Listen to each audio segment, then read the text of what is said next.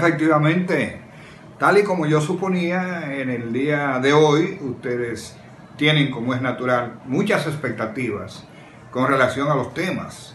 Algunas veces ustedes tienen que entender que uno no siempre se refiere a un tema necesariamente de hoy, sino algún análisis sobre temas que han ocurrido y que pueden perfectamente ser eh, sujeto de análisis para que eh, podamos entendernos, como dice el refrán.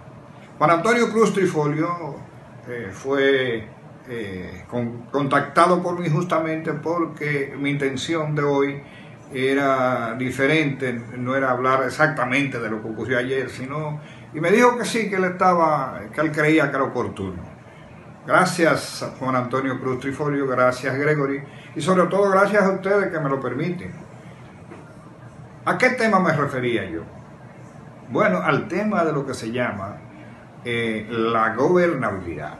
La gobernabilidad que de alguna manera u otra viene dada por las relaciones eh, que se dan entre el poder político representado por el presidente de la República y eh, los demás poderes del Estado.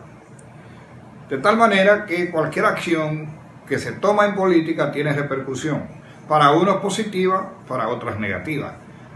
Ha habido una resolución de la Junta Central Electoral con la que mucha gente está de acuerdo. Y yo debo decir que, eh, que también estoy de acuerdo pero que obviamente produce un resultado de una circunstancia que han sido diferentes con relación a lo que, a, lo que, a lo que existía. Existía una especie de, de,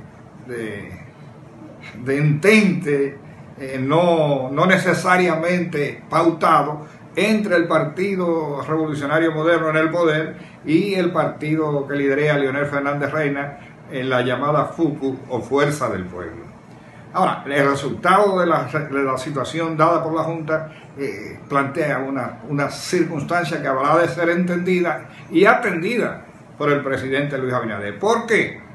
Porque yo les he dicho en otra ocasión y ahora les repito que no hay mejor momento en la República Dominicana para poder hacer las grandes transformaciones como ahora.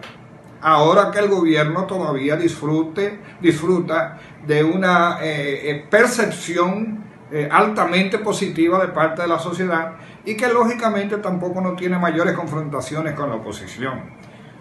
El propio Leonel Fernández Reina sugirió un pacto eh, para el manejo del asunto del coronavirus y del arranque de la economía nacional.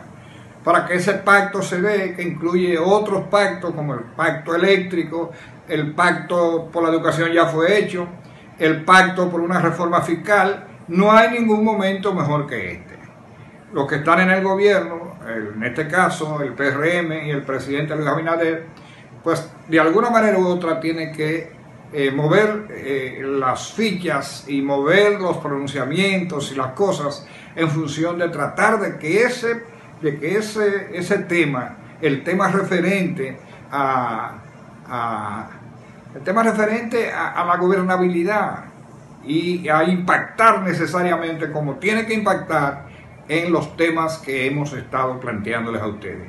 Claro, el tema es largo y obviamente no se puede hacer en un solo espacio. Entonces, seguiremos hablando de esto y de otras cosas más en la próxima ocasión aquí en punto y coma. Muchísimas gracias.